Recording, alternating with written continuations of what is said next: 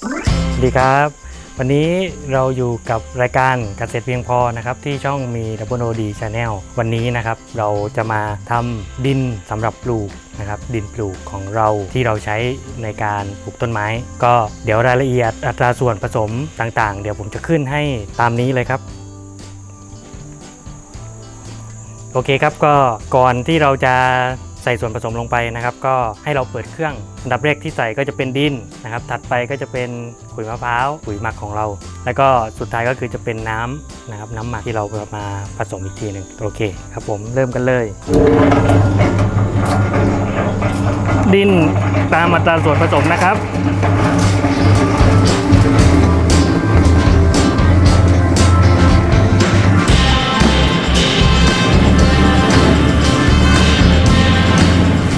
พร้าวตราบ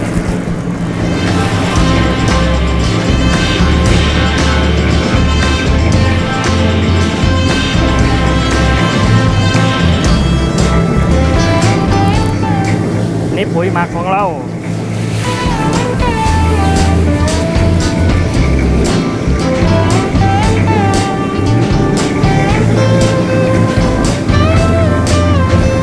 รอให้เขาผสมเข้ากันสักแป๊บหนึ่งนะครับ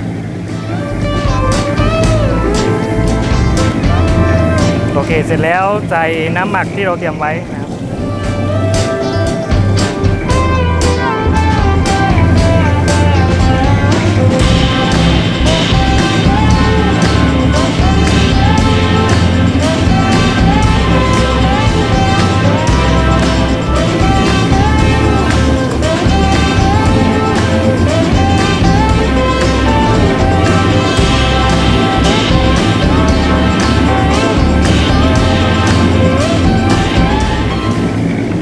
ด้ดินประมาณนี้นะครับ ซึ่งให้เรากำดูน้ำไม่ไหลนะครับอ่าโอเค เดี๋ยวเรานำใส่กระสอบกันเลย เพื่อที่จะนำไปหมักนะครับ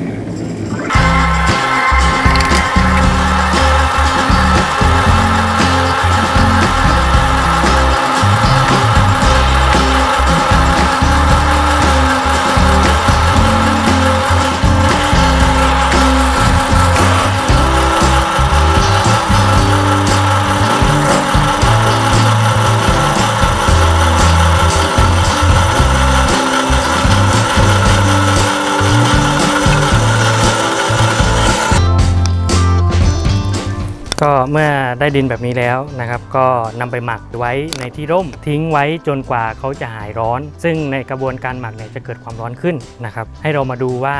ถ้าดินของเราที่หมักไว้เนี่ยหายร้อนแล้ว เราก็สามารถนำไปใช้ปลูกต้นไม้ได้เลยนะครับอยู่ที่